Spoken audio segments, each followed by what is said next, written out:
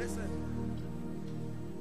I don't boast to know everything, but I've seen great people fall like a pack of cards at the instance of the error of the prophetic.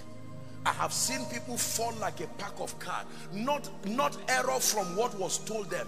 Error by themselves. Did the Bible not even teach you that your own heart can deceive you?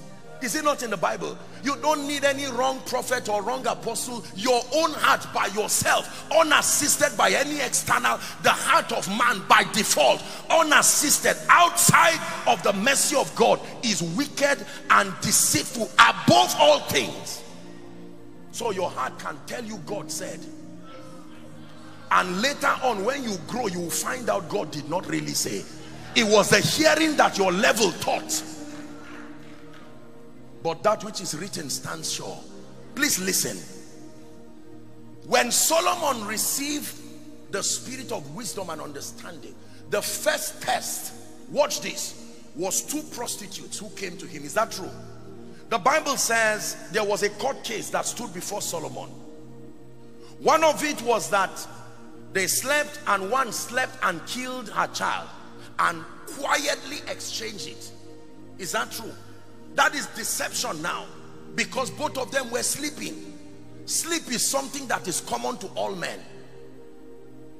And while they slept, someone exchanged it and they got up and this one said, it is my child. This one said, it is my child. Now Solomon was going to show the supremacy of the wisdom of God. He would have said, I am wise. I know this will happen and just guess his way into error. But watch this. The moment Solomon saw that situation, he knew that the only way to discern the thoughts and the intent was to bring the sword, which is the word of God. He said, bring me a sword. The moment the knife arrived, the truth came out. Immediately. That, that word that is sharper than two-edged sword, the Bible said it sustains the power to cut asunder. Even doctors cannot do any surgical procedure beyond the human flesh. But the word of God can move past the realm of the flesh and discern people. The times we are living in are the times where a kiss that should be a sign of love can be a symbol to the enemy. This is the one. Destroy him. You will need discernment beyond the realm of the senses. Judas comes to Jesus and kisses him if you were to watch that scenario you go back and say Judas what a loving disciple. And yet that was a sign to the enemy. This is the one who should die. Satan came the first time directly to Jesus. And Jesus said it is written three times. And he left for a season. One of the synoptic accounts will say. Are we still together? The next time he would come he did not come directly again he did not use evil. He came through the compassion of a loving disciple. I hope you know that Satan can use what is good and fight you. Good and evil came from the same tree. So it is within his liberty to use both evil. And if he finds out that you are one who runs away from evil he will not use evil. He will not use a lady to destroy you. No he will not use liquor to destroy you. He will use church.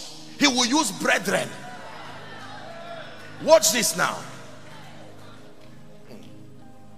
So satan enters peter and Peter does not even know that at that point he's under the influence of Satan.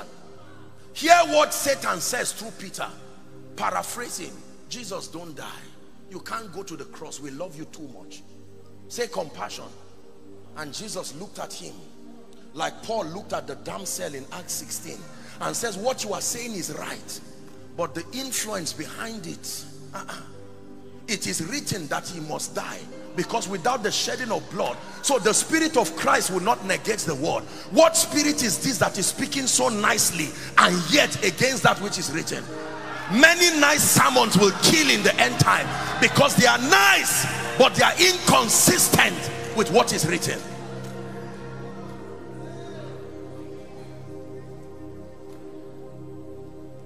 please sit down so Jesus looks at Peter Peter was sincere. He was not evil.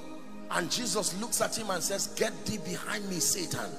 And Peter, I can imagine Peter saying, what insult is this? And he laughed. He said, Peter, one day you will grow and you will understand what happened. Satan has desired to sift you like wheat. He says, but I have prayed for you. We're getting there shortly. I have now given you a strategy that the moment you see deception rising in any territory I have given you the weapon to maintain your balance. I have prayed for you that your faith fail not. It says when you are converted use this same strategy. Anywhere you see deception in a territory teach them to pray because that in the place of prayer they will gain stability. The next time Satan would come he entered Judas and unfortunately, because the heart of Judas was already, I hope you know Judas was not an evil man. Judas was a selfish man. He did not intend to kill Jesus. He intended to make money out of Jesus. So that he would leave Jesus to deal with them and say, I, I, I fulfilled my own part of the business. I promise that I'll bring you face to face with him. Whatever happened between him and you is none of my business. Give me my money. That was why when Jesus gave himself, he killed himself.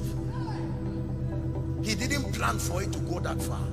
Be careful what you do with Jesus. You can love him. You can use him for money. You can use him for fame. You can use him wanting to sit at the right and the left side. Not because you love him, but you are using him to show that what you left was not failure after all. They did many things with Jesus. That is a sermon for another day.